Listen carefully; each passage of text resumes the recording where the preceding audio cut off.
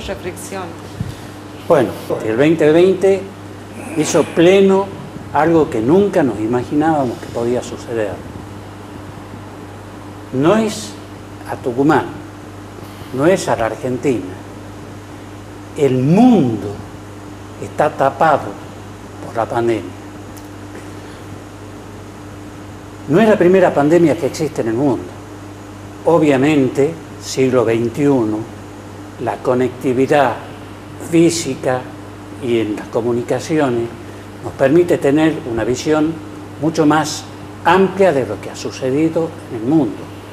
Pero así como que está sucediendo en todo el mundo, la cantidad de víctimas que tenemos para la magnitud del fenómeno que es, no es tan importante.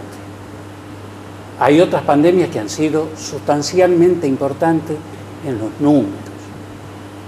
Lo que sí, yo creo que lo que tiene que hacer, lo que tenemos que hacer, particularmente en este, este en este 2021, es sentarnos y ordenarnos, particularmente nosotros los argentinos. Digo particularmente porque el fenómeno nuestro supera largamente el fenómeno mundial.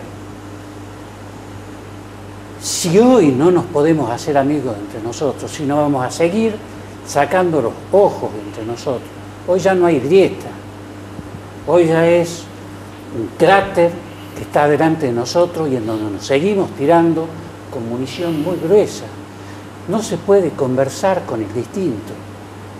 Tenemos que rever esta situación humana, tenemos que rever nuestra situación política, tenemos que rever nuestra situación sanitaria, tenemos que rever, tenemos que rever todo, tenemos que sentarnos y organizar nuestro propio COE para ver cómo salimos de esta emergencia.